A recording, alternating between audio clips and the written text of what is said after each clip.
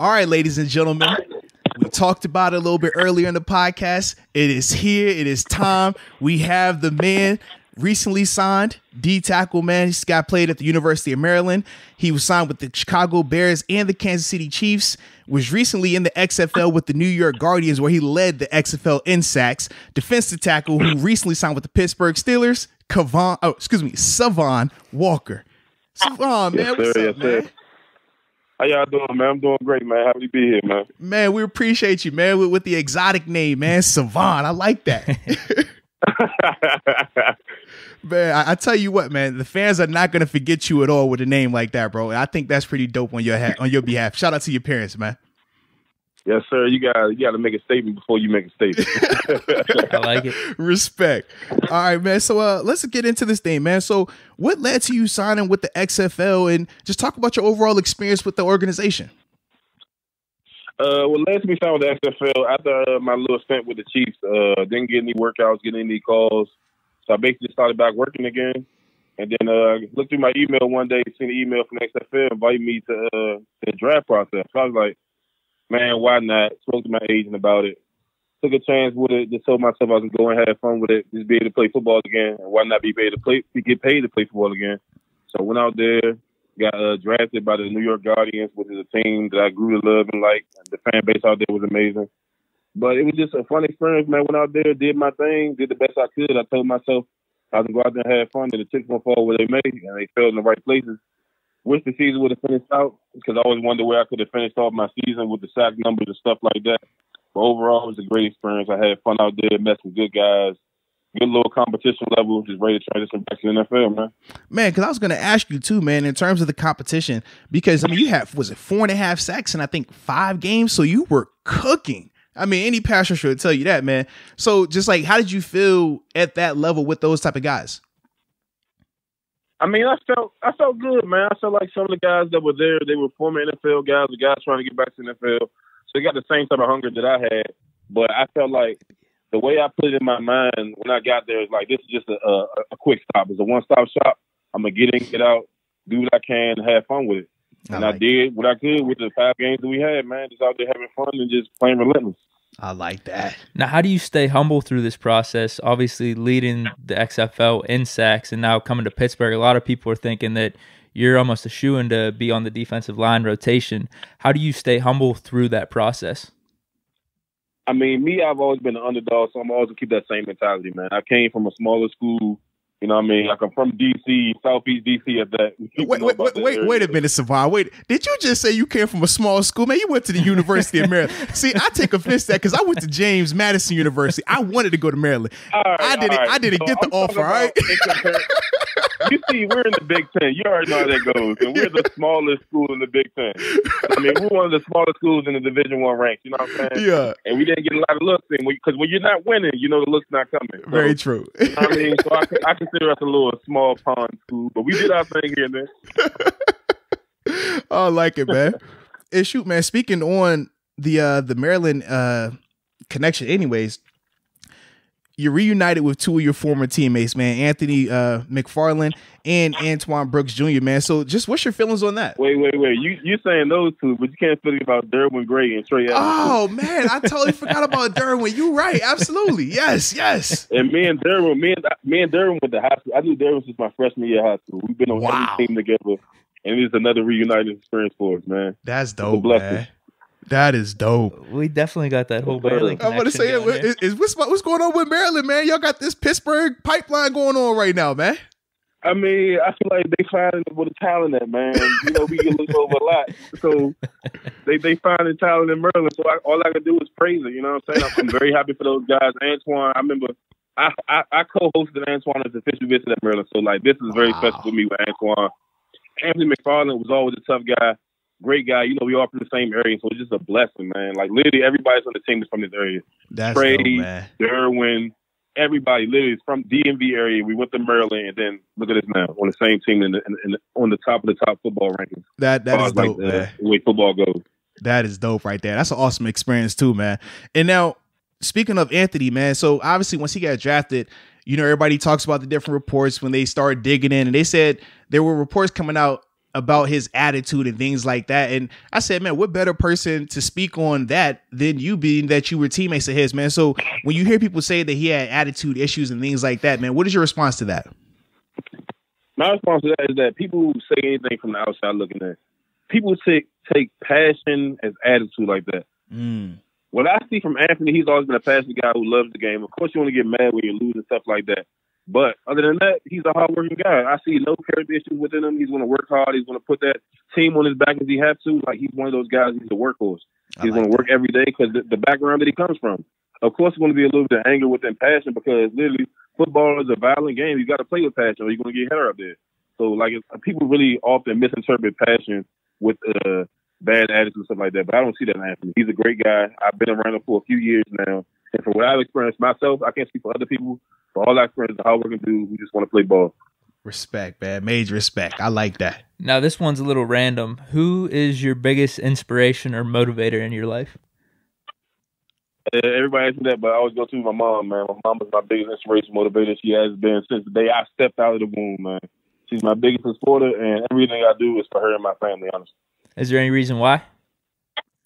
Uh, my mom raised me and my brother and sisters, single mother of five. I'm the baby, Mm. and I'm the biggest baby. But uh, it's just the strength that she dis- uh, displayed to me over the years, even when I didn't know we were going through. Like she always made sure I didn't know what was going on until I got. Then as I got older, I realized what was going on. But you know, she always sheltered us from the bad things, even though we were going through them a lot. I like that. No, that's dope. Now, what have you told yourself after being bounced around the NFL a little bit and uh, almost being told, like, hey, you're not good enough? What have you been telling yourself to make sure you could get back into this position? My thing is, I always told myself I'm going to keep fighting until I can't fight anymore. If I want some, I'm going to find a way to get back to it. And one thing that I've learned over the years, I've talked to a lot of vets and the teams I've been on. Like I've been on, and then great D lines I've been on. The Chiefs D line was a great D line. The Bears D line 2018 was a phenomenal D line. Like I've been around some good guys, and they told me it's not about where you land; is about where's the best fit for you. So don't give up till you find that fit. Because I may not have been a fit for the Chiefs or the Bears, you know what I mean? But this may be my fit. I'm going to make it my fit. Mm. It's I all about finding the right fit for you, and you got to put your skills on display and get yourself out there. And that's what I'm I'm, I'm going to do. There's no I'm, I want to do it. That's what I'm going to do. I love it. I like there it is. Talk to him, man. Talk to him. So Cavon, man, just transition out of the XFL. What ultimately led to you signing on with the Steelers? I feel as though it was just the uh, the film I put out there, man. Like I I didn't really talk to too many people. You know what I mean? I just kept my head down. I enjoyed the process. And then I just put put everything I had to do. I put it on the field, man. I enjoy beating guys up within between the lines without going to jail for it. It's an amazing experience to get a little aggression out. But the XFL was just a, a great stepping stone for me to get back where I need to be. That's one of the most. That's one some of the most fun I had playing football in a long time. Dude, that's awesome, man. That's great to hear. And honestly, man, we've had a couple of guys that have played in the XFL. They said the same thing. It was a very good, enjoyable experience for them, man. Yes, sir. Was there something about the fit with the Steelers that made you want to come here? Say again one more time. Was there something about the Steelers, something about the fit, the coaching staff, something that you know made sense to you? Why, I mean, as you know, why Coach came? Dunbar is one of the most well-known Oh, yeah. defensive Highly coaches respected. in the football world. To be able to play from, play with him and learn from him and all the things that I have in my toolbox that he can work on and build on, it's an honor to be on that team. But then it's just the tradition of the Steelers overall. Me being a defensive player, I used to play linebacker. Like everything about defense is in, is instilled in this team, and I love that about the Steelers. Absolutely, man. Hey, I can tell you firsthand, man. It's nothing like playing defense in that black and gold uni, man. You come out there. I can't wait, man. Like, I said, man, defenders in Pittsburgh get the same type of recognition as offensive players anywhere else. Like only in Pittsburgh does that Yes, happen, man. now, now you're gonna get an opportunity to. I mean, and Deke talked about this earlier to legitimately compete to be in that D line rotation. So, what does that mean to you, man?